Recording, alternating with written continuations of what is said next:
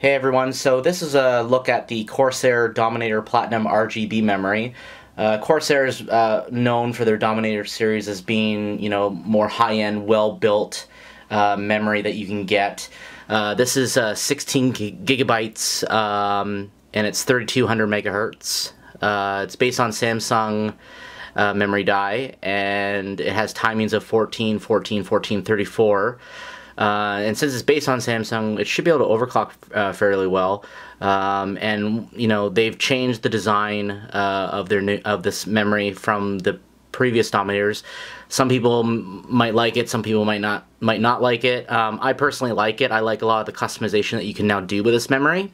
Um, and the LED uh, lights. Um, so what we're going to do is uh, put in the system, boot it up, and I'm going to show you some of the things it can do in the iCUE software. So I have the uh, iCUE software loaded up here uh, on my computer. So here you can see um, the memory showing up uh, in the devices.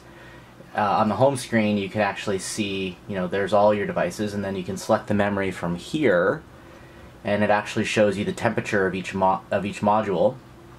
Um, and then under the uh, lighting effects section, this is where you can actually, you know, play with the memory and, you know, change the effect and the colors and things like that. So like right now I have it on rain and this is the one that I've been using since I got the memory. I quite like the effect. It kind of makes it, uh, you know, your build look a little different. Um, and uh, from here you can see the timings. So as you can see, I've actually overclocked the memory. So I'm running it at 34 100 megahertz um, with the default timings of 14, 14, 14, 34, which is pretty good. These are very, uh, this is a very good overclock considering I have kept the timings uh, pretty low.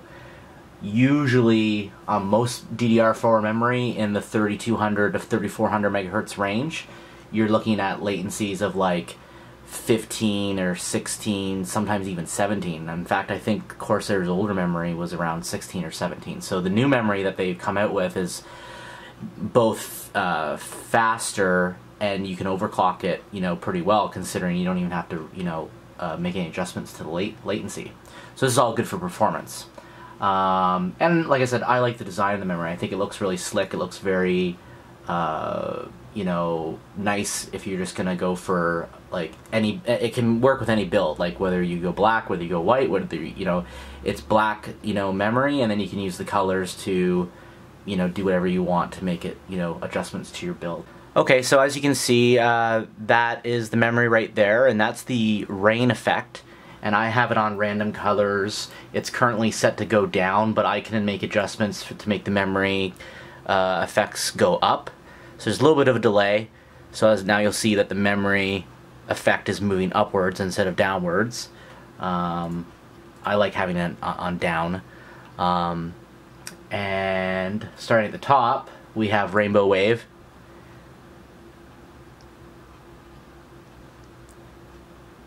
And I'm just leaving it on the default colors. By default, it usually just uh, has random colors. This is, the next one is Spiral Rainbow.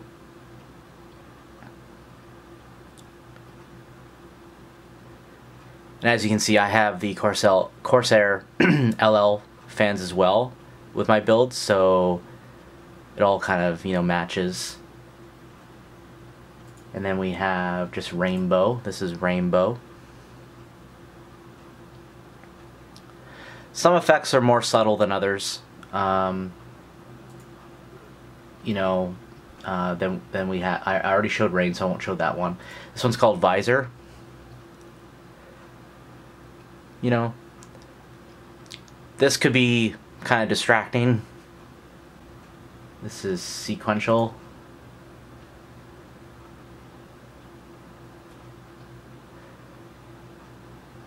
And again, I can adjust the direction. Right now it's set to go up, but if I wanted to, I could set it to go down. It's almost like rain, but, you know, it, it, it it's not like, you know, there's leaving an empty trail behind. Next one is Marquee.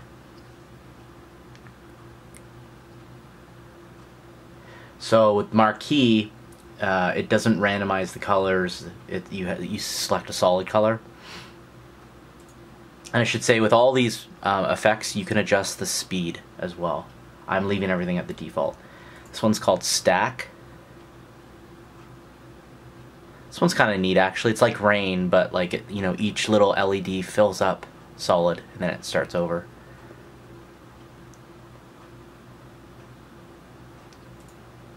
Inside Out. This one's called Inside Out.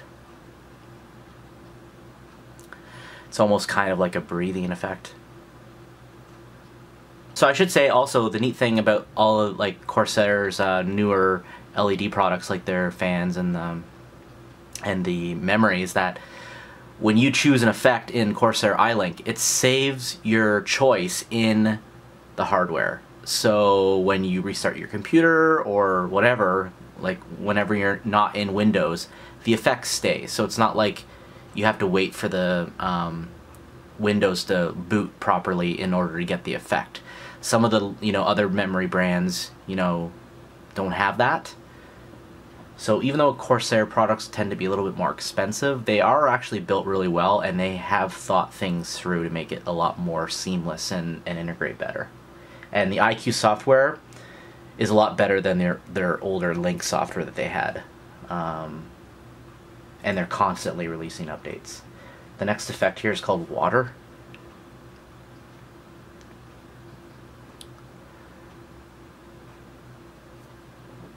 This one's on a solid color, but so you can choose different colors.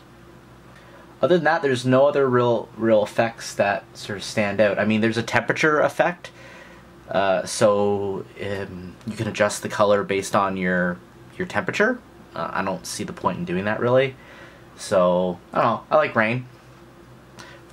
I would say my favorite is rain and stack, honestly.